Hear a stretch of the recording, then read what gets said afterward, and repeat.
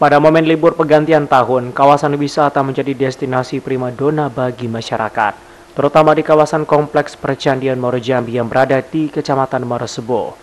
Selain menghadirkan udara yang sejuk dan tenang, kawasan candi yang luas dipenuhi dengan tempat bersejarah ini menjadi pemandangan utama sehingga banyak masyarakat memilih Candi Morojambi sebagai destinasi liburan untuk keluarga.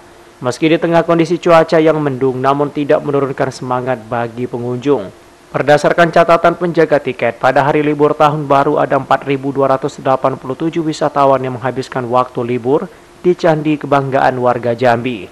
Puncak kunjungan sendiri terjadi pada Senin 1 Januari yang mencapai 2.514 wisata yang hadir.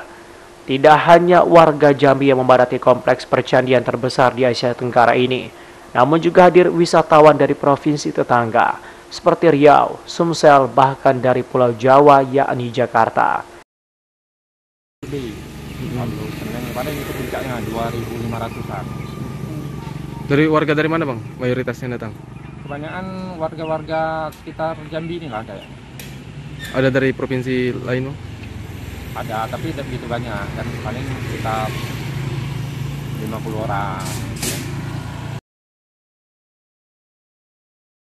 Dengan harga tiket yang terjangkau, yakni Rp9.000 bagi dewasa dan Rp6.000 bagi anak-anak per orang, juga menjadi alasan tersendiri bagi warga yang mengunjungi pariwisata budaya, yang merupakan pusat pendidikan bagi umat Buddha pada masanya.